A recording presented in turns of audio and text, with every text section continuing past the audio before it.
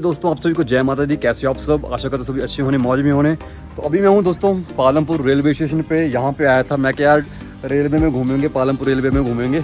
पर ऐसा पॉसिबल हो नहीं पाया क्योंकि यहाँ पर मैंने पूछा तो उन्होंने कहा कि ट्रेन काफ़ी दिनों से बंद है।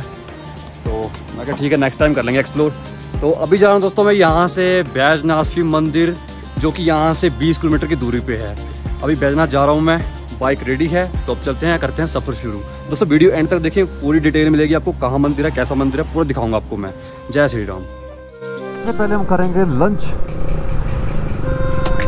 लंच नहीं कर रखा है तो लंच करेंगे यहाँ। तो बढ़िया सा ढाबा दिखा यहाँ पे। यहाँ पे खाएँगे खाना। अंकल जी खाना कर दो। जी।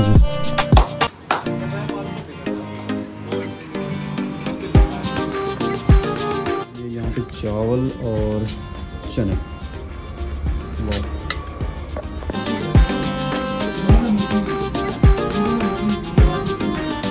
बहुत अच्छा है कौन से अच्छा होता खाना यहाँ पे, ढाबों पे? रेस्टोरेंट में ऐसा ही है, बस बैठने को ही है, बहुत बढ़िया बट खाने की क्वालिटी यहाँ की अच्छी है।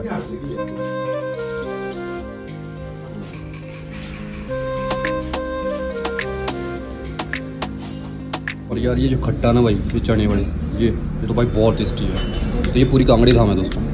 जिसे कहते हैं कांगड़ी धाम। वाह। दोस्तों, पालमपुर से बैजनाथ की दूरी है 20 किलोमीटर और रास्ते में आपको बहुत सुंदर सुंदर जो है नज़ारे देखने को मिलते हैं और बहुत सारे आपको जो है टी गार्डन देखने को मिलते हैं, यानी कि चाय के बागान आपको देखने को मिलते हैं। दोस्तों, इस पुल के नीचे आप देख सकते हो, ये बह रही है दोस्तों बिनवा नदी।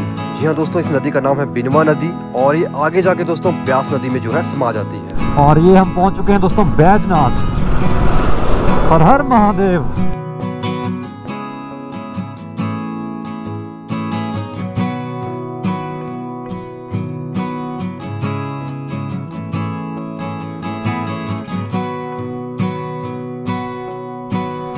दोस्तों फाइनली मैं पहुँच चुका हूँ बैजनाथ शिव मंदिर में और आप देख सकते हो दोस्तों, ये है सामने बैजनाथ का शिव मंदिर, जो कि बहुत ही जो है सुंदर मंदिर है।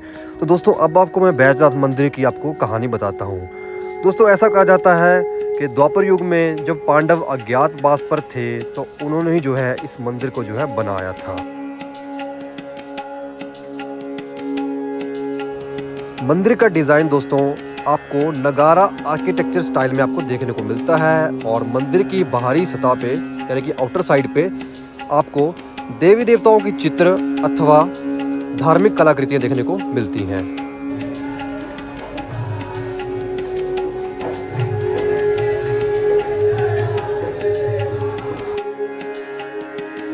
दोस्तों, बैजनाथ शिव मंदिर में लोग काफ़ी दूरों दूरों से आते हैं भोलेनाथ जी के दर्शन करने के लिए। और मैंने यहाँ पे ये भी देखा कि यहाँ पे कहीं आसपास गवर्नमेंट कॉलेज है और वहाँ के छात्र छात्राएँ भी यहाँ पे आते हैं। दोस्तों, बैजनाथ मंदिर की दूरी चंडीगढ़ से दो सौ बहत्तर किलोमीटर है और पठानकोट से 130 और कांगड़ा से 52 ये मंदिर दोस्तों पड़ता है मंडी पठानकोट एनएच पे और यहाँ से दोस्तों, पास में ही पड़ती है आपकी वीर बिलिंग पैराग्लाइडिंग साइट, जो कि दोस्तों वर्ल्ड वाइड फ़ेमस है।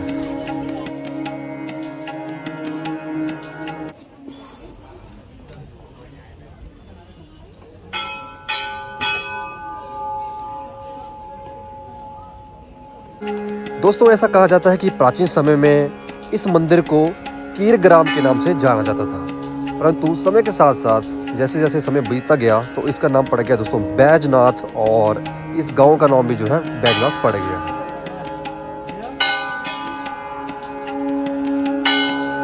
और दोस्तों, इस मंदिर का संबंध लंकापति रावण से भी है। जी हाँ दोस्तों, इस मंदिर में जो शिवलिंग है, उसका संबंध लंकापति रावण से है।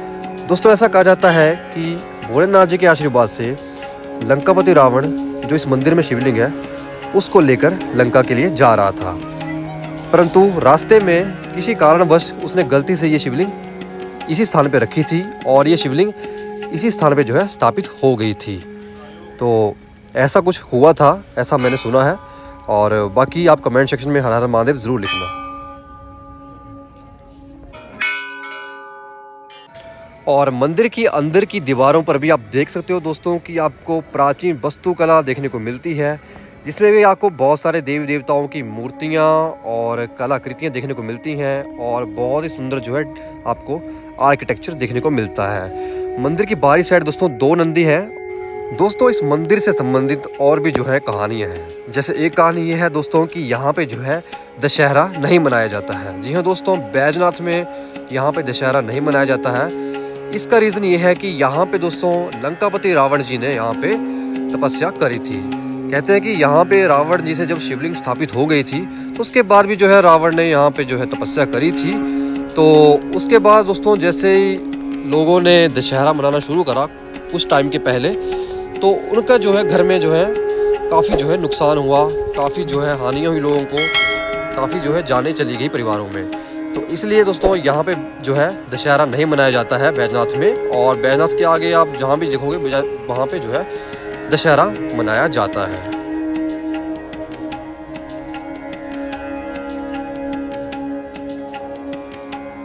कैसी लगी आपको ये वीडियो? अगर अच्छी लगी हो तो भाई इस वीडियो को लाइक करो और ज़्यादा से ज़्यादा इसको शेयर करो, और कमेंट सेक्शन में हर हर महादेव ज़रूर लिखना दोस्तों, हर हर महादेव। और अभी मैं यहाँ से निकल रहा हूँ दोस्तों वापसी अपने घर के लिए।